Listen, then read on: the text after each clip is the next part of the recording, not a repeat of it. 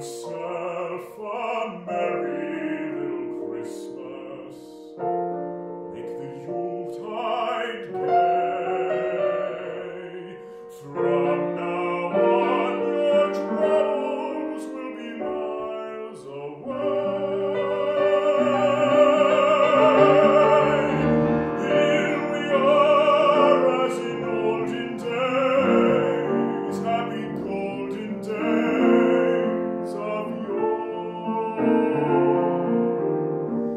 faithful friends who are dear to us, gather near to us once more.